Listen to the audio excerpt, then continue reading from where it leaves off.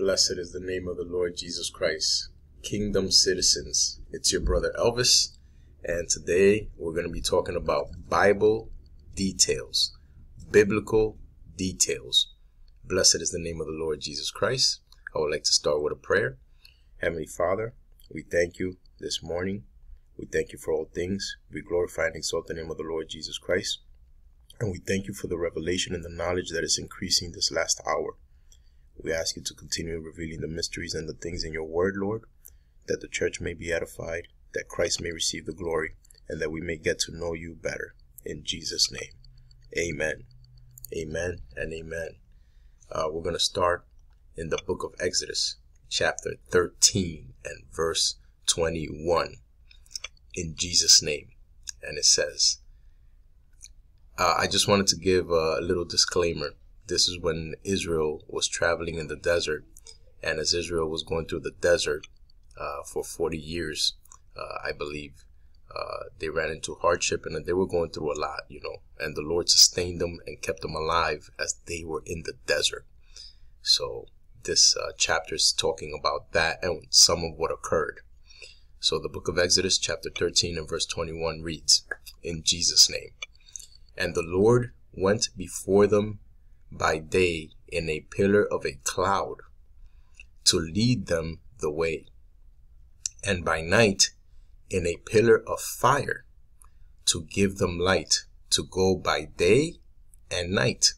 He took not away the pillar of cloud by day, nor the pillar of fire by night from before the people.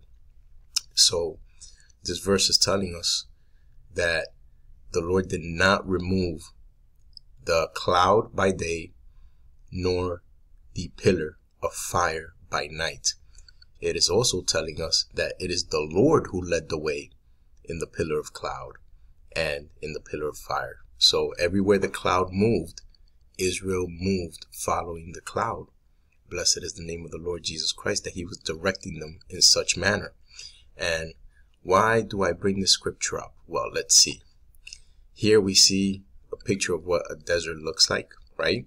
And we know that these parts of the earth where it's very dry and there is no shade that we call the desert with the sun, it reaches a high temperature, maximum temperature of about 134 degrees Fahrenheit.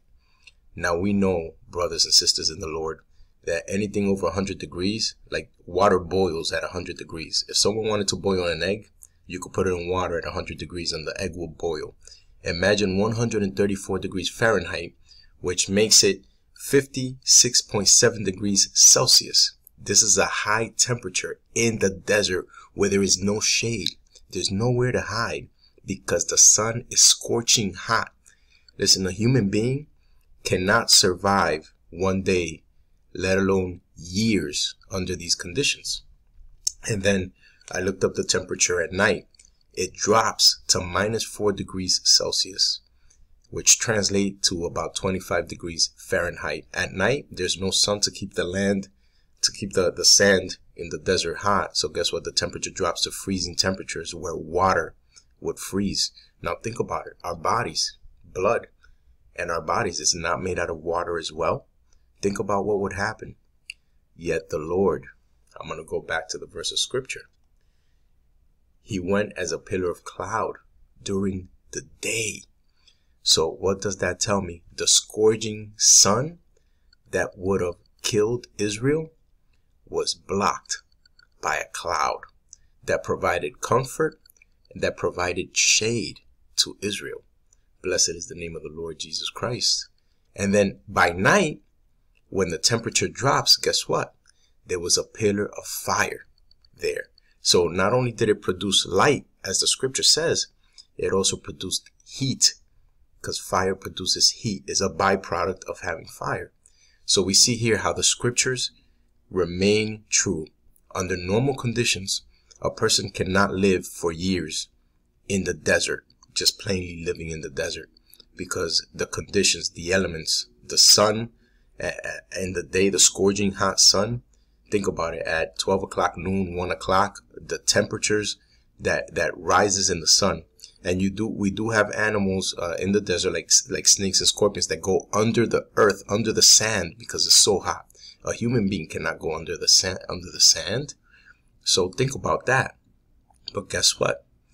The Lord provided a way, and the scriptures stand true. Israel was in that time in the desert, and they were alive. And guess what? They also had bread because the Lord provided manna, bread that fell from heaven in the name of Jesus Christ. And he also provided water. He provided everything that they needed. And this is confirmation to know that the Lord knows your situation. The Lord knows every single little detail much better than you do of everything that you need in the natural and everything that you need in the spiritual. And guess what? Just like he provided for Israel, guess what? The cloud to protect them, he will provide a cloud for you to protect you from the scorching sun when you're in the desert. And at night, when the temperature drops, they had the pillar of smoke. So this is very powerful. And this right here, our Bible, is the only truth we could stand in. This right here is a historical record. This is the only truth that we have. If God says that there were people in the desert for 40 years, there were people in the desert for 40 years, and He saw to it that they were taken care of and they had everything they needed because that's how good he is. He provides all things. Blessed is the name of the Lord Jesus Christ. Just wanted to share that with you guys because uh, I was meditating on, yo, the desert. Wait a minute. The desert's hot. And then guess what? At the end of the day, God provided a cloud to keep them comforted, to keep them cool. And at night, wait a minute. The desert's so cold. Wait, how could someone, how could someone live under these conditions? And guess what? God provided a pillar of smoke. Blessed is the name of the Lord Jesus Christ. May this message be a blessing unto you. And this is a biblical detail of how Israel survived in the desert. All glory to Christ. All glory to God Almighty because he kept them alive. Blessed is his holy name. God bless saints.